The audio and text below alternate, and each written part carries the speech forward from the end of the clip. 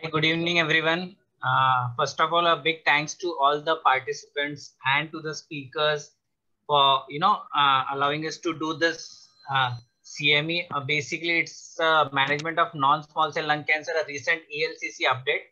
Just to tell you about brief about the ELCC, it is basically a European Lung Cancer Congress, which is a collaborative effort of the most important multidisciplinary societies representing thoracic oncology specialists working together to advance science, disseminate education, and improve the practice of lung cancer specialists worldwide.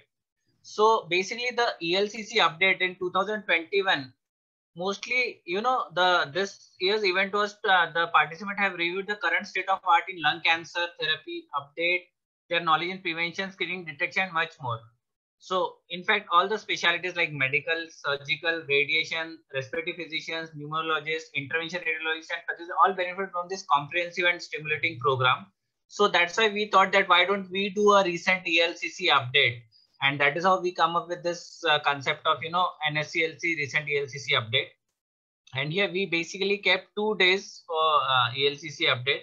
So on day one, we'll be covering, uh, covering the early lung uh, early stage lung cancer, then uh, session on EGFR, and then a session on post EGFR uh, updates. So I welcome you all once again for this recent ELCC update.